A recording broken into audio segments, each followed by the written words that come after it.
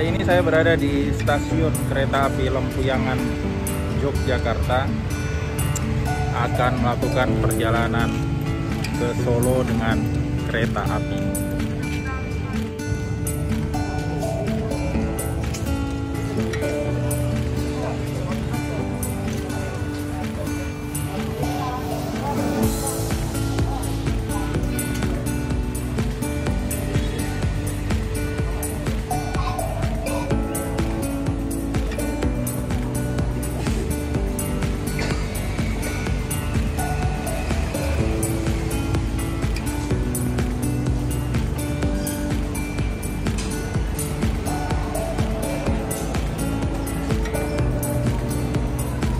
Jadi untuk yang kereta ke Solo beli tiketnya itu di loket yang sebelah sana. Dengan menggunakan kartu. Jadi di loket tadi eh, untuk ke Solonya untuk menaiki kereta apinya menggunakan kartu ini di loket belakang tadi